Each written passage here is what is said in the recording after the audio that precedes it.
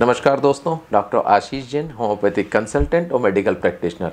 आज मैं आपको एक और नई डिसीज़ के बारे में थोड़ी चर्चा करूँगा, जिसे ऑटोइम्यून डिसीज़ जिसे H L A B twenty seven positive कई बार पेशेंटों के ब्लड में रिपोर्ट कराई जाती है H L A B twenty seven positive के लिए, है ना? अगर ये पॉजिटिव आता है मीन्स हमारे शरीर में ह्यूमन ल्यूकोसाइट एंटीजन जो होता है, ये पॉजिटिव आ जाता है। अब इस पॉजिटिव आने से क्या होता है? इसको पॉजिटिव आने से हम लोग कहते हैं ऑटो इम्यून डिसीज़ के लिए आप रेजिस्टेंस हो गए हैं। आपके शरीर में ऑटो इम्यून डिसीज़ बनने लगती हैं, जिसकी वजह से एंकालो स्पॉन्डिलाइटिस जिससे कि हाथों की जोड़ों में दर्द होना रूम आर्थराइटिस जोड़ों की शिकायत होना, गर्दन में भी दर्द होना, ये सारी शिकायतें दिखाई देती हैं। इससे हाथों में दर्द होता है और इसका किसी भी प्रकार की मॉडर्न मेडिकल सिस्टम में ट्रीटमेंट अवेलेबल नहीं होता है। तो होम्योपैथी दवाइयों से हम इसको ठीक कर सकते हैं। ये एक बहुत बड़ी रिसर्च है। इसके साथ साथ हम आपको ये भी कहेंगे कि होम्योपैथी में एक ऐसी विषय पर चर्चा कर रहा हूँ, जो ऑटोम्यून डिसीज़ के बारे में, जिसके बारे में कहा जाता है कि ये बीमारी कभी ठीक नहीं होती है।